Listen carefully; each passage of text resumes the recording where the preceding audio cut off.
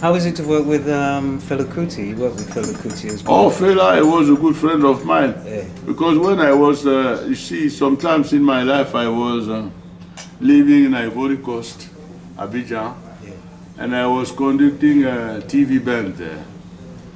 When I get back to America, well, I spent two years in America, and then they called me in Abidjan to conduct this, uh, and I was very lucky to uh, to be able to work in Africa with African people. I mean, It's the uh, best. very well organized in that time Yeah.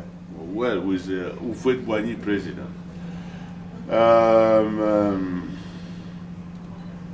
and uh, uh, Lagos is one hour and a half uh, fly. Right. So I used to go in uh, the end of uh, week. I used to go to Shrine to see the man. Right. Very special. Yeah. Also, we, we do some concert in Europe, in France, in Italy, in uh, Holland. Well, I knew him very well. We're talking, uh, discussing. Uh, by- the way, Cameroon is next door. Yeah. And, uh, I'm not far from him. Your neighbours. Yeah, we are just neighbors. He's a great. He was a great musician.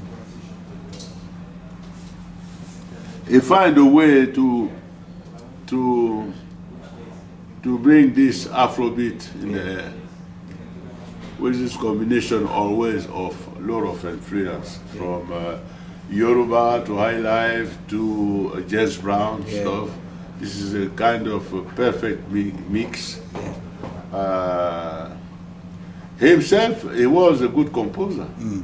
When when you listen to Lady, uh, this is composition. Huh? Of course. Of course. Uh, but he, also he was a politician. I'm not politician. Yeah. That's the difference. Yeah. I don't want to go to this uh, big mess. You see. It's a bit messy there, isn't it? Politics. Uh, no, no. I mean, uh, there's no politics. It's money stuff. Yeah, yeah, And know. they're not yet talking about uh, politics. No. They are talking about uh, how to to have uh, Hello. Good money very fast from the owner. Yeah. That's right. To me, that's it at the moment. It's not really the vision of what can be your country, what can be the continent in the future, the vision. I don't see so many people who have vision like uh, Nkrumah. Nkrumah had a vision. Yeah.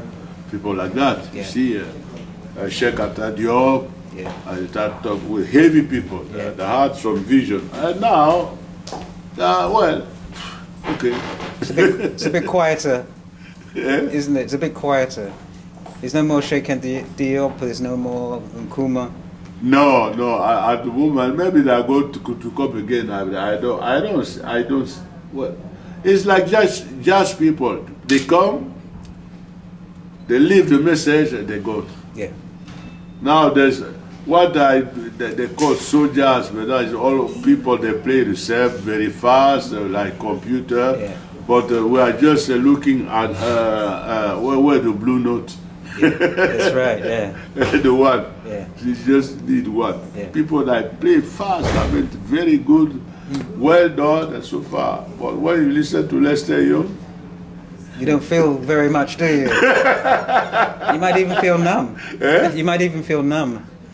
You have no feeling at all. well, a matter of feeling the feel, the thrill, thrill is gone. As, as thrill is the- gone. BB, King's Yeah, thrill right. is gone. Yeah, that's right. And then he retired.